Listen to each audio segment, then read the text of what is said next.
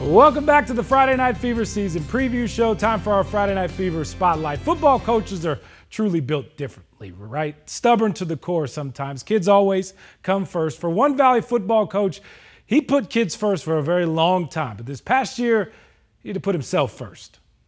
You better cook whoever out there, Jermichael. I ain't playing. When you love something, you put everything into it. For 20 plus years, Matt Pinnock, better known by his players as Coach MVP. How you doing? Ricky, Ricky, Ricky. Buckle up. Has put his body, voice, Time! heart, and soul into coaching. You gotta give yourself room to work. On the field, Pinnock's heart is full. But this time last year, he found out his heart could no longer keep up. I was feeling bad for so long that I, did, I thought that was the new normal.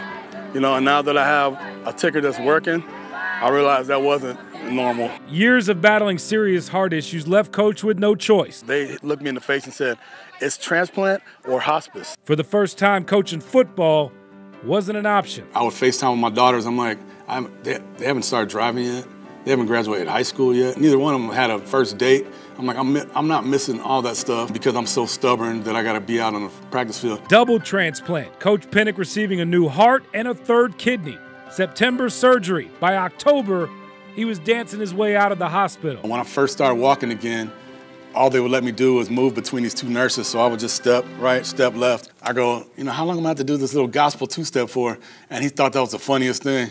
And so when I finally left, I said, I'm gonna give you the real gospel two-step now. So then I danced my way out of there and, and they lost it. Later that month, Coach MVP returning to his team, walking onto the football field at Raymond Kellis High School for the first time in months. What's up with you? What's up?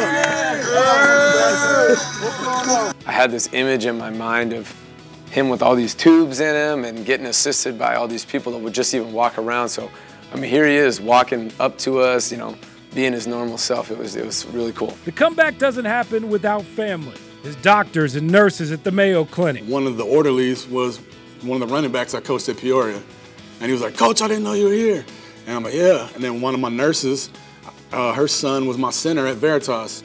So it was just like, all these people, I'm like, this is crazy. And then one of the coaches just told me right now, his sister was one of my nurses. I'm like, you know, football is just bonded all around me. All right, let's get, it we're gonna get it all heart on three. One, One two, three, all heart. Coach Cannon, on three. One, two, three, go Helmet stickers, support from our community, and his high school best friend Chris that quit his job to be his 24-7 caregiver for the months after his release. Like, look, man, Uncle Pinnock, he, he needs our help. And it was like, let's do it. And so that was, it, it was like that quick. I took the year off from football to do nothing but work on my health because my heart got really bad. We always say team, break on team. Team is important. I wouldn't be here without my team. This season, Coach is back full-time on the sidelines, coaching offense and calling plays at Tempe High School. Just hit them right now and let them run forever. The best part about being back is being around the kids again. This isn't a second chance at life, more a chance to live a better life. I get up every morning, I put on some gospel music, and I'm I'm good to go. I'm happy for every opportunity I get. I got diagnosed when I was 42, and then it just kept getting worse and worse, and then it was like, you need a transplant. Yeah. yeah I believe that.